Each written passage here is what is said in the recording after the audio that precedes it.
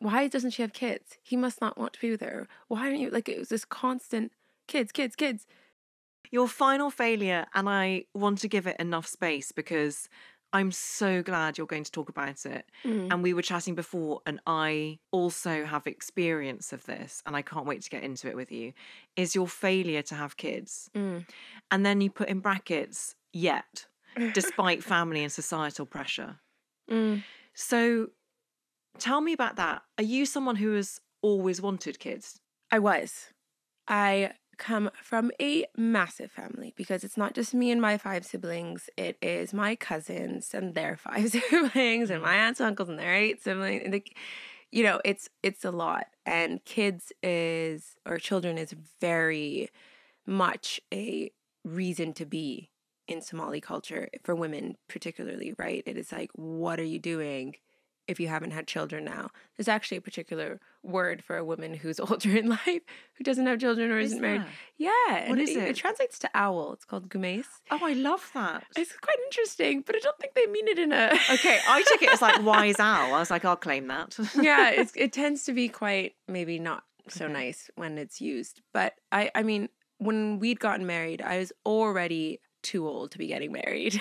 you know, like my family Yeah. had waited a long enough. Um, and then when I'd made decision to, you know, wait a bit, I I'd instantly become a stepmom. You know, when we'd gotten serious, to three children. So he just has his, you know, his two year old at the time. He had a fourteen year old, and he had a twenty four year old who's an adopted Mhm. um, child as well. And I was like, this is a lot. yes. I'm not just going to now add to this equation. Hold on a second. I wanted to explore that. I wanted to feel what it, what it was like. And I'm so thankful. They are the best children. I feel so, so close to them. Like, I mean, Mina San, who's 22 now, like, I feel like she's one of my little best friends. Oh. you know, and she's so cool and so inspiring. And I love watching her grow and develop. And um, I felt like, okay, I have a duty here and I have a responsibility now as a stepmom. And, you know, it's a bit of a thankless job, right? Yes. and you know. Yeah. Um, but I wanted to to do right by it. I wasn't then going to then go, okay, I'm ready to have kids. So for my family, that was a really hard pill to swallow.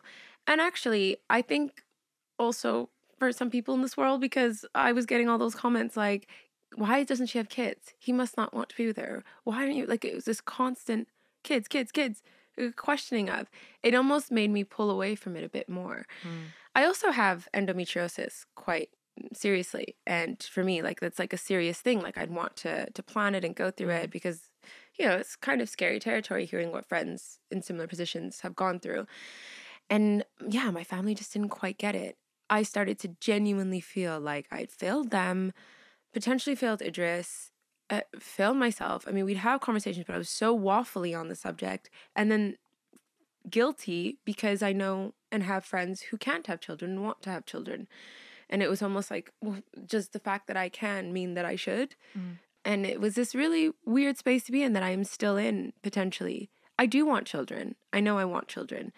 I want it to be on my own time Yes. and when I'm ready to have children. Not because my family pressures me to, not because society pressures me to, not even because, you know, relationship wise, I might feel pressure to. I think it really needs to come at a time where you're both ready. And it's an important conversation. So to call it a failure is just to, you know, have this look sort of inwards on why do I feel so badly about it?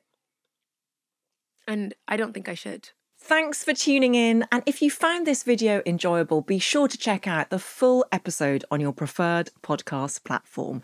And make sure you're following How to Fail on social media for additional content and updates.